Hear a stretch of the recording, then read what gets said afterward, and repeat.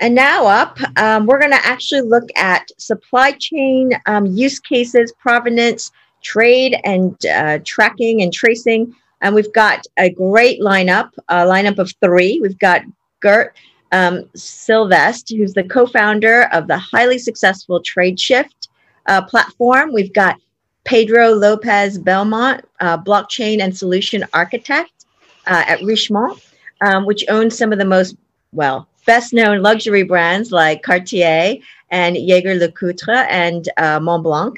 And then we've got uh, Guido uh, Molinari, who's a managing partner at Prysm Group. So we are very well um, honored to have you all here. Thanks. Can you hear us? Thank you for having Thank Great. Well, we're going to kick off with Gert. Um, we're going to talk a little bit about TradeShift. It's a very popular and um, successful um, company, uh, and it's taken you maybe a little bit of time to um, actually work on blockchain. Um, is that true? How long have you guys been in the blockchain space, and what are you looking at right now? What excites you the most? Yeah, so um, so we've been in the blockchain space for for the past two and a half years. So it's not where we started. We founded the company in 2010. Um, and and what we set out to do is is to see if we could create a platform that could connect uh, every company in the world, uh, but in order to create economic opportunity for, for the participant. And it was based of the observation that in the B2B space, there's very, very little digitization. I mean, we all exchange emails and PDFs, but when it comes to the actual hardcore transactions underlying modern business, it's it's more than 90% that is not uh, digital.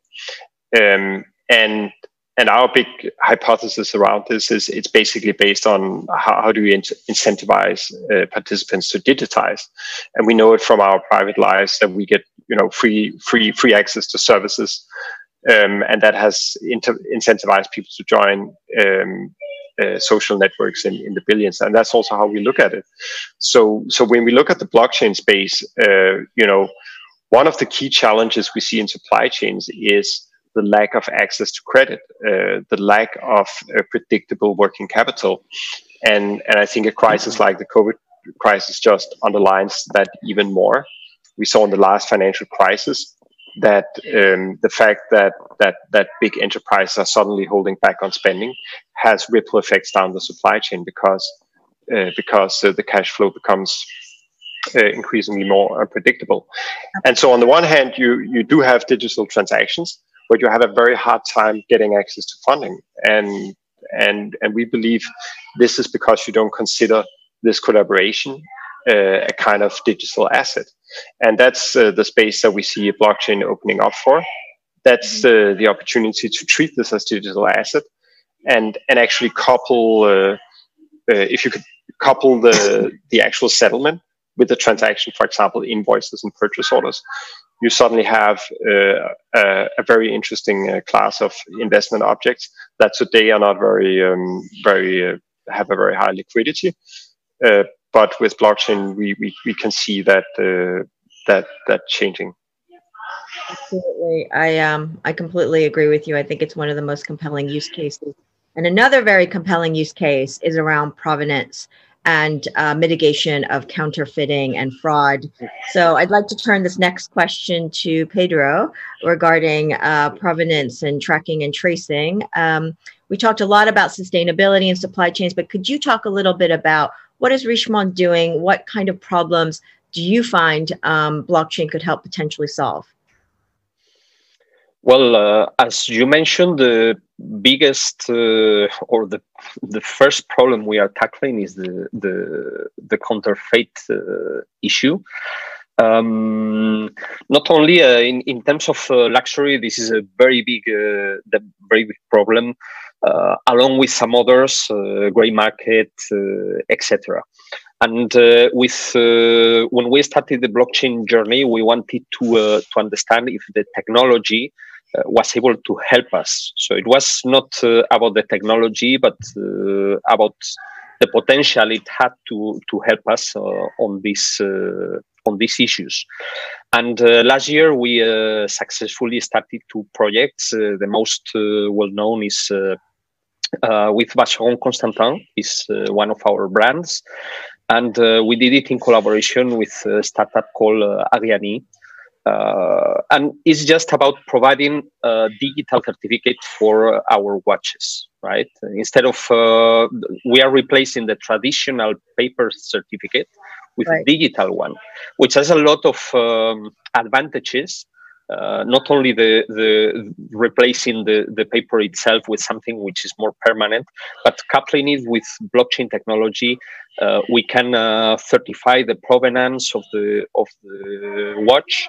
Uh, we can certify the the ownership, and we enhance uh, we, we enable enhanced services such as transfer of the ownership uh, or tracking of the different activities, for example, that we can do over the watch, like uh, repairs, etc., uh, etc. Et right, and and we foresee some uh, things in the future. So this is uh, very interesting because uh, mm, we started this in the in the blockchain hype. Uh, today, this hype, as some of the speakers have mentioned already, is gone. And in our case, our trend is going up. Is and, and this is basically um, because uh, blockchain technology, beyond the marketing uh, power that was having uh, uh in in the short past, uh, is having real power to solve uh, problems and to be more efficient. And in that sense, as I mentioned, for counterfeiting, we are still we still have a long way to go mm. because uh, one of the key problems now is the link between the digital asset uh, and the physical object, uh, which um, uh, is, is at least in our case, is not possible to have a hundred percent guarantee of of that link. But we are in the process of closing the gap. We are taking steps. Some of them are baby steps. Some other are a bit more a bit bigger, but we are taking these steps in order to close the gap and, and really provide a solution that first and foremost give value to our customers because at the end of the day uh, our customers is what uh, gives also value to us. Absolutely. I'll, I'll jump in i'll jump in here. I'll bring guido in here uh, because i think that's a really interesting point that pedro made about this uh, you know the, this hype cycle thing that we hear all about. But you know things like supply chain and provenance, these, these use cases are quite well explored. I just wondered, Guido, where, where else are you seeing consortia efforts still cropping up in the blockchain space, or you know, has it has that gone a bit quiet, or is it still uh, happening? Thank you, Ian. Um, yeah, actually, we are seeing definitely a shift in terms of the industries where you're seeing new uh, consortium efforts.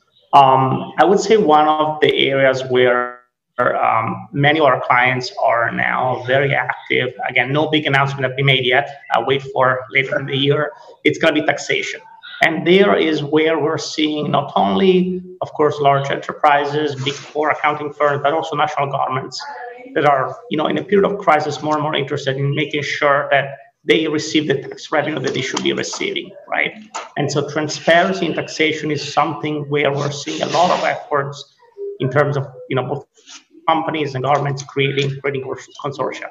Um, there are, of course, other networks where you have seen the deployment of the consortia, and now you're seeing a buildup of additional use cases to bring, you know, a path to monetization for the effort. So often what we've noticed with clients is that initially putting down the rails between the members. It's not a particularly ROI improving effort for the participants. But once you have those rails in place, then you can build up um, you know, different business use, cases, and it's very easy to implement, right? Really, almost with the click of a button, and you can deploy other products uh, that are immediately available to all members. And uh, you know, you get the network effect from you know the use case right away, which is something that which is you know very hard if you have to each time rebuild a new network. Um, You're working with the big the big four sort of thing on this tax business. Can you say?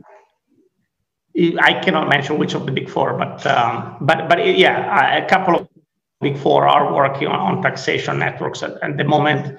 Um, again, I think in a period of crisis, use cases where there's going to be a very direct revenue for many of the participants, whether it's tax relief, you know, from the investor end or um, the actual um, tax collection from the from the tax authority. These are going to be very attractive use cases.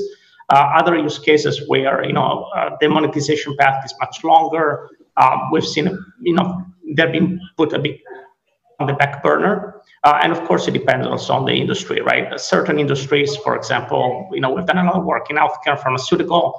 Now the focus has been shifted more on responsiveness to, to the COVID crisis. And so, um, you know, certain projects have been put on, on hold for, for the moment. Sure, sure. I just want to jump over to, to Gert really quickly and, and just say, hey, I was really impressed by the work you're doing with uh, the, the government of Denmark uh, to try and do some COVID relief deep inside the supply chains, which are